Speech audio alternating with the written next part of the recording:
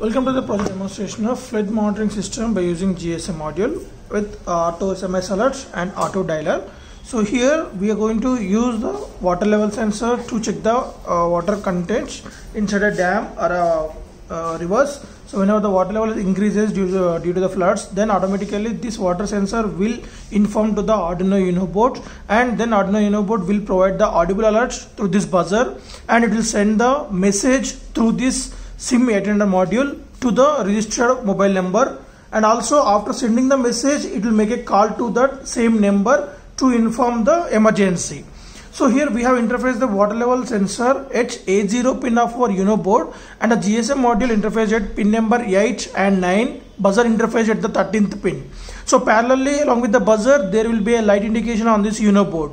So the whole system getting power supply from this 12 volt 1 amp adapter when we provide that so it start reading input from the sensor and control the output modules.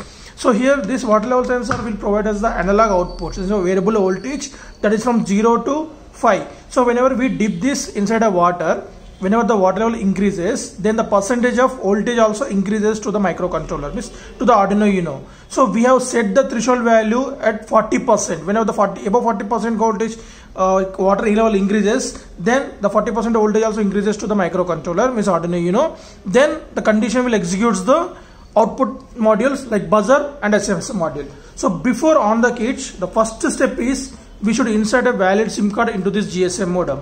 So better to use Airtel to get the perfect output.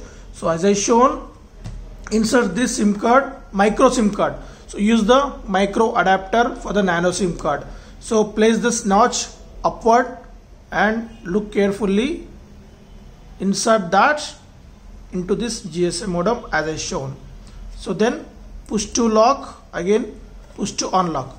You can see the GSM modem or SIM card section. So after that, lock the SIM card and now on the power supply. Right. So hold this reset switch. So this is a reset switch of our Uno board. Hold it till the GSM modem got the signal. This light is blinking very fast initially. Right. Now it is slowed down. I think you can observe that. So after getting slowed down, for confirmation, you can make a call to the SIM card. Then it will get the ring from our mobile phone means dialer tone in your mobile phone so now release the switch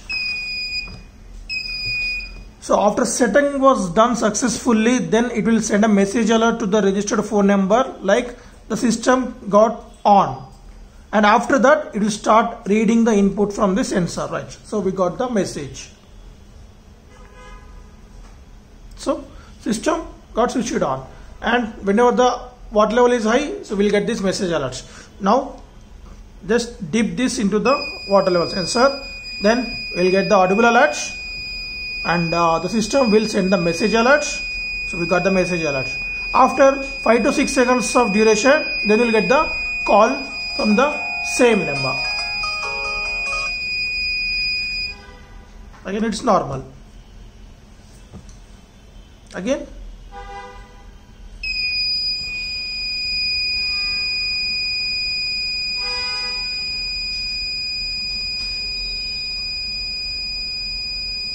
so we got the high level message alerts. So like this the system will continuously monitor the water level sensor and it will send the message alerts to the registered phone number